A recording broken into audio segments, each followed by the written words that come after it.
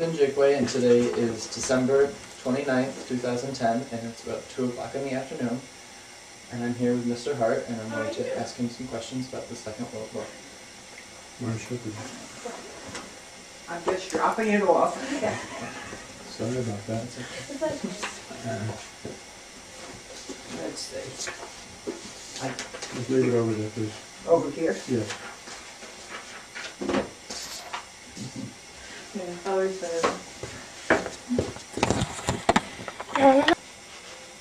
I'm Nathan Gridley, and today is Wednesday, December 29th, 2010, and it's 2 o'clock in the afternoon, and I'm here interviewing Mr. Hart and asking him some questions about the Second World War. So, um, let's start out with where were you on December 7th, 1941? Visiting some friends. Uh, I was going to school at the time, and I had been invited uh, uh, to visit them uh, for dinner. And uh, that actually was, I had to travel to get there. and I'd stayed overnight with these friends, and we'd gone to church and come back, just come back from church when the news came on the radio. And how did you and your friends react to that? Well, I anticipated uh, having to eventually have military service. We both knew that the country was going to be in for some hard times. And you had grown up during the Great Depression. What, what I was had, that? yes. Can you describe that for me? That? Well, I was relatively young. I mean, I was 10 in 1923, 1933. Mhm. So uh, uh, one doesn't have too much of an impression at age 10. Mhm. 1933, which, which was really the bottom of the Depression. And what did your parents do during the Depression? My father had died in 1930, but my mother had to bring up four children all by herself. And did you have many? You had four siblings, two brothers. I didn't hear you. What, what were your siblings? Like how old were they? I was the oldest Oh. of four. I had a sister and two other brothers.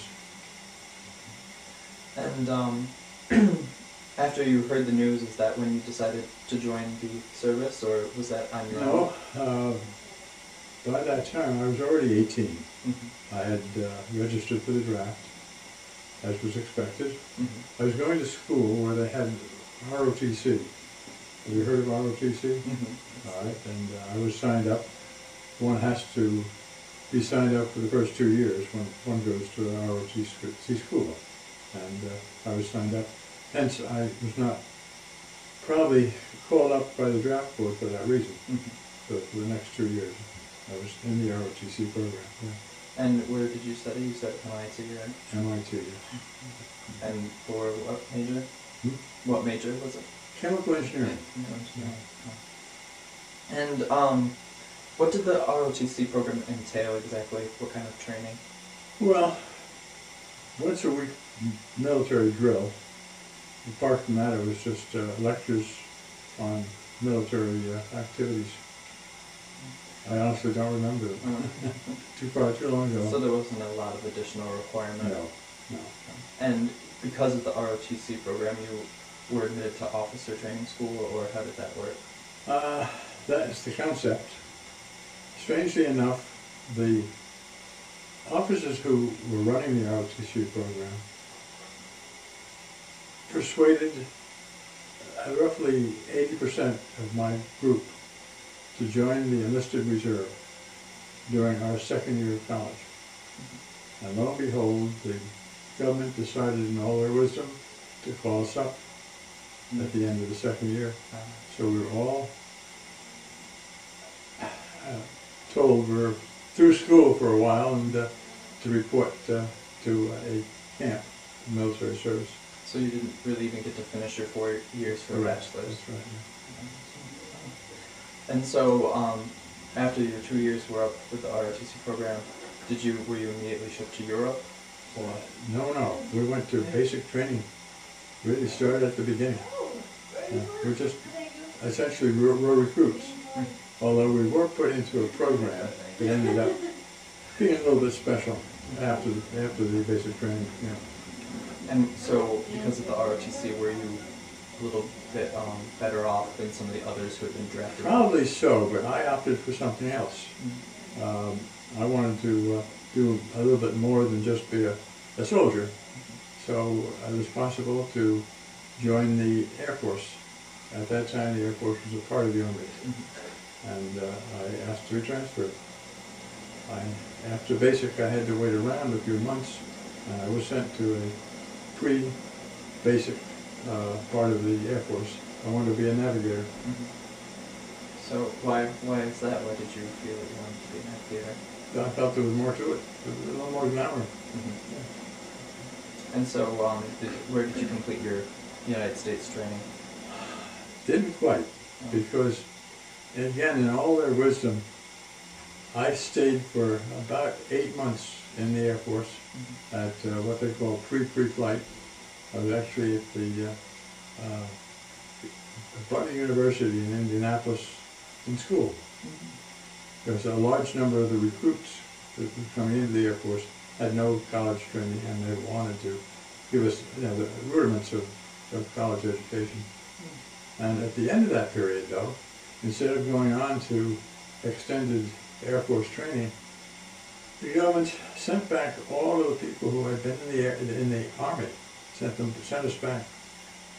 And I was sent back to a newly formed infantry division Um, to start training all over again. and what division was that? Hmm? Do, you, do you recall what The division? it was? 86th Infantry Division. yes. And where did you complete your training for that? Uh, in Louisiana.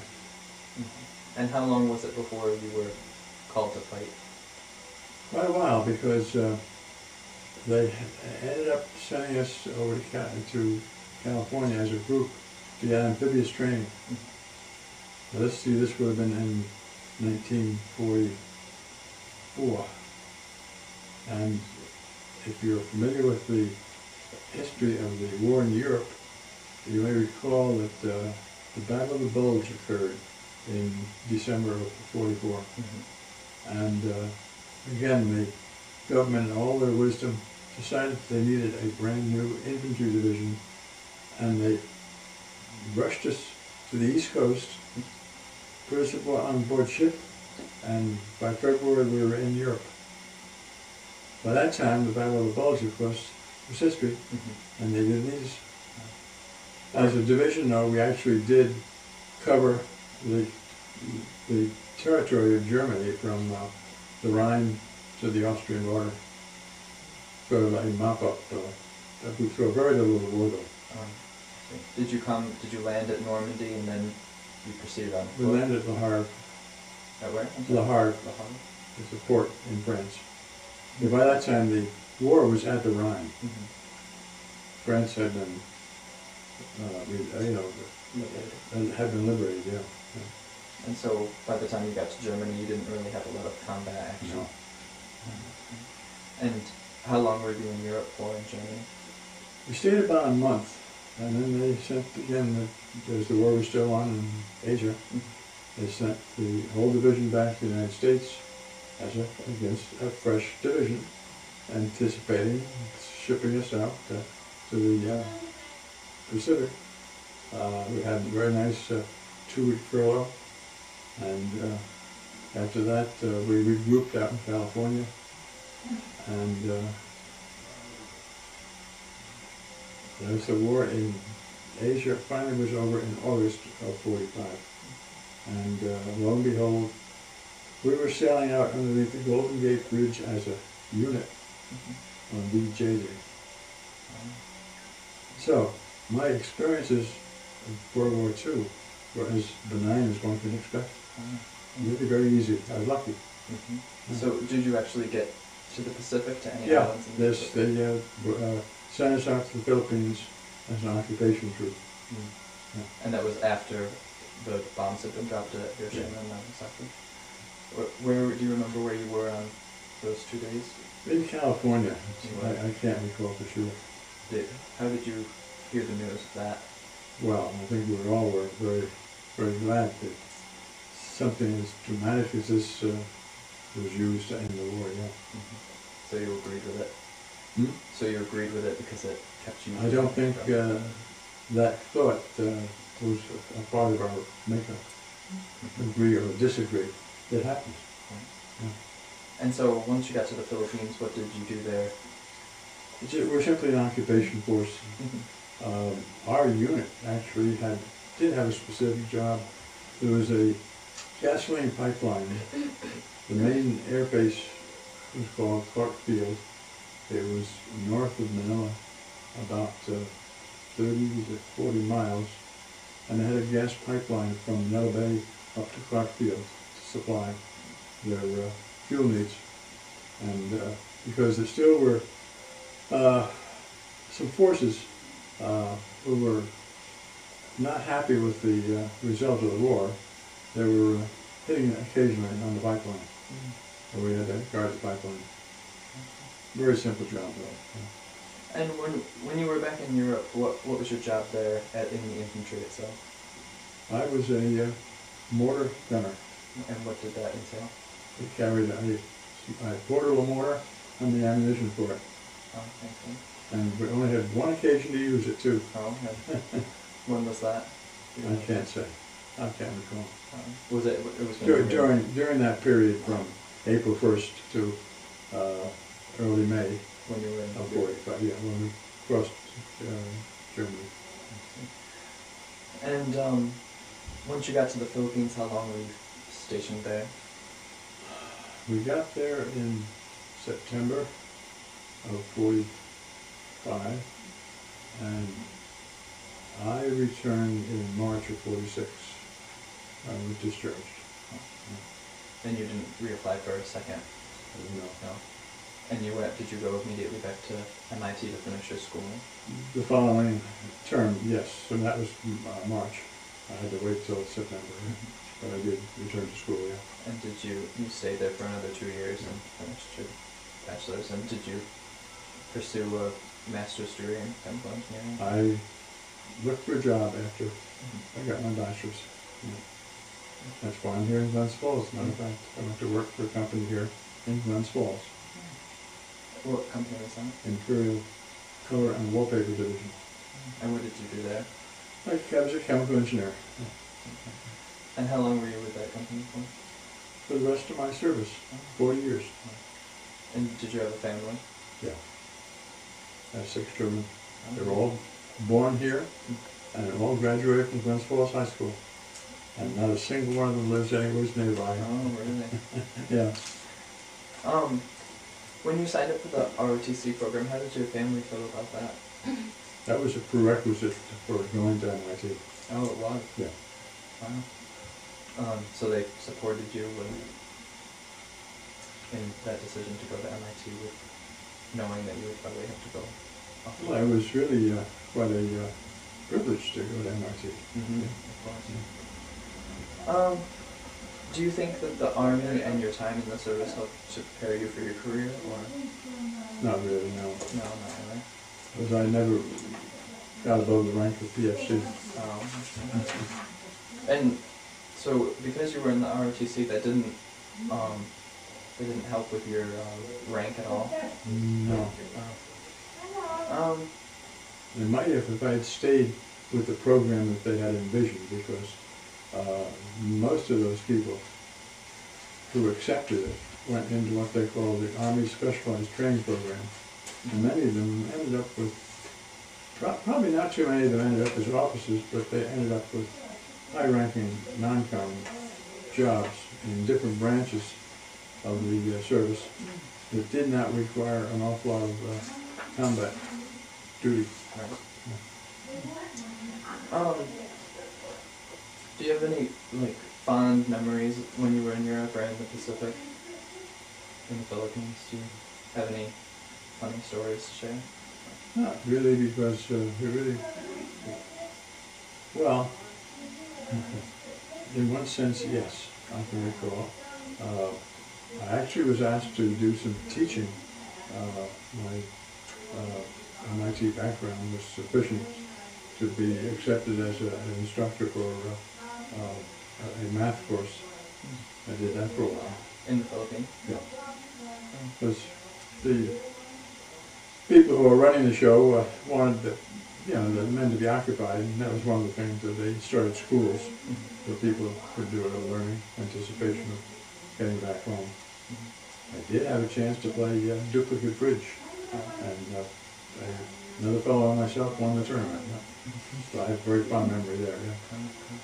Do you um, did you have other friends from MIT who were in the ROTC program with you, or Oh, yeah, there, there was essentially the whole class. um, And I say eighty percent of them were persuaded to join the enlisted reserve, all of which, all of, all of whom were soon called up at the end of the term. were the majority of those men in your um, division, or? No, you see, I went into the Air Force. Mhm. I was the only one in the group that did that. Um, so So I lost track, of- completely lost track of that. So you separated while everyone else went off, Yeah. but it really didn't do you any good anyway. So. Um, do you remember anything um, in particular when you were that one time you were in combat? Anything that comes to mind? No, we just marched.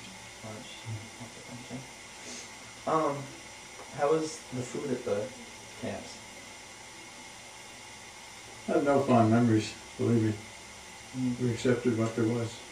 Although I suspect, though, that uh, this, the military had uh, really good food, more so than many of the civilians. Know, from what I've heard of uh, rationing. Um, when you were in the Philippines and um, were you like building houses as well? Were you working closely with like the Marines? we were just bi- bivouacked in a special place that would accommodate us. know. Mm. So there weren't like um, the CBs weren't there with like another division of the? This is just an infantry division. All we were, all we were capable of is fighting war which was over. Um. Um. When do you ever regret that um, you weren't able to join the Air Force and become a navigator like you wanted? Yeah, I think I, I do, to a certain extent, yes. I would like to have uh, had that experience, but it wasn't to be. Uh, I actually did uh, one small, fascinating or happy part uh, of that short time in the Air Force. I got to have 10 hours of dual instruction in a type of that was fun. Mm. Um, do you think that if you had, if you had been able to stay with the Air Force, do you think that would have changed your um, your combat at all? Do you think you would have done more actively involved in combat? I know way of speculating. Um, did you get married when the war was over or during um, your leave? A few years later. Yeah. And you right here in, Glens Falls? Hmm? Right here in Glens Falls? No, the lady I married came from Boston, Oh. where I met her when I was going to school. And where were, where were you from originally? Down near Poughkeepsie? I grew up in Ulster County, And whereabouts is that near Poughkeepsie? Ellenville. You know where Ellenville is? No. You know where Newburgh is? no. You know where Kingston is? Yes, that's Okay, south of Kingston, oh, down south. away from the river. Okay. And did you were your parents from there? Did you live there for most of your childhood? No, we're originally from Brooklyn. Oh. I was born in Brooklyn, Mm. And how long did you live in Brooklyn for? Over ten years. Mm. And my, my mother's family was, was in Brooklyn uh, after we moved out. And we, we moved up uh, to Ellenville because uh, it was less expensive living right in That's a good the Harvard, isn't Harvard it? Depression. It was very desirable. Tiring, but you feel better bad, uh. Really, uh, living in the country, I like that aspect of it. What did your mother do during the depression to support you and your brothers and sisters? Well, it has family help Mhm. for quite a bit. And then later, later she went to work as a, as a secretary. Did you use your um your reparations from the service? Did you send them like home in order to support you? Didn't have that much. You didn't have that much. PFC did not get much for very much money. Yeah. And did you meet your wife? You said she was from Boston. Did you meet her while you were at MIT? Yeah. Um. What? when do you recall when FDR died? Not, uh, no, not as an incident, no. I'm, I'm sure at the time, uh, we talked about it, but no, I really don't remember that, the occasion now. Um, seeing as how you weren't in direct combat with the Japanese, um, do you have any hostilities towards them today, or I don't think so, no. or the Germans in particular? No, No? no, in fact, here in Glens Falls, we had a neighbor, uh, who was a few years younger than me. Uh, he was, he grew up in wartime Germany, Mhm. and he and his wife both, uh, and, uh, he was in the youth corps because of the fact that he was so, so, at, at a certain age, they were automatically recruited. And, uh, he never saw any combat, he wasn't old enough for that. And he actually worked as an interpreter. because he had good English command. And, um, before, again, finishing school over there and then coming over here, he worked here at GE in Hudson Falls. He was, a- he was a neighbor of mine here. And we were very good neighbors. Um, well, that's all the questions I really have for you. Um, I'd like to thank you, and I have a release form for you to sign. Sure. I, uh, sorry to, if I disappoint you in any way, but, uh, it's fate that maybe why I'm here now. The fact that, uh, I had an easy, easy go of it, know. Well, I suppose that's for the better anyway. Yeah. Do you think maybe because you spent those two years at MIT with the ROTC program, do you think that that helped you to be better off? No, I haven't, I have no citizenship? love for the military, Oh, no. oh, that's interesting. I, w- I would not have planned to go on to be an officer Mm. had I finished the second year. No, I would not have. So you really had no intention originally on No. joining the army, It was a prerequisite to go to school. and you wanted to go there more than anything. What were your other choices for schools that you could have gone to and not had to face that? You know, surprisingly enough, that was my first choice, and I got it right off the bat. Mm. Do you think if you had been Today it would have been difficult because it was a lot easier to get in than, than today. Mm. But, uh, at that time, I'd say fifty percent of the students at that school were local. Oh, Today, probably not at all. ninety percent of them are international. Yeah, it's changed from that, but, Okay. Well, thank you very much. Okay. very good. I think the, the crew is going to sleep over there.